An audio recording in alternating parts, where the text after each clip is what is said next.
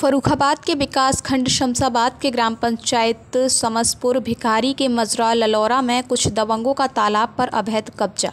तालाब में कचरा डालकर तालाब को विलुप्त करने की की जा रही कोशिश। एक तरफ़ सरकार ने तालाब का सुंदरीकरण की योजना के लिए करोड़ों रुपए खर्च किए, दूसरी तरफ़ दबंगों के सामने जिम्मेदार बेबस नज़र आ रहे हैं। ग्रामीणों का कहना है कि एक बार क्षेत्रीय लेखपाल ने तालाब को कब्जा मुक्त कराने के लिए दबंगों को निर्देश दिए थे कि तालाब को कब्जा मुक्त कर दें, फिर दबंगों के सामने सभी जिम्मेदार बेबस हो गए और तालाब अपनी बदनशीबी पर आज भी रो रहा है। ग्रामीणों का कहना है कि इस बार कचरे से गाँव में बीमारी फैलने का खतरा बढ़ता जा रहा है। लेकिन ये जिम्मेदारों को दिखाई नहीं दे रहा है।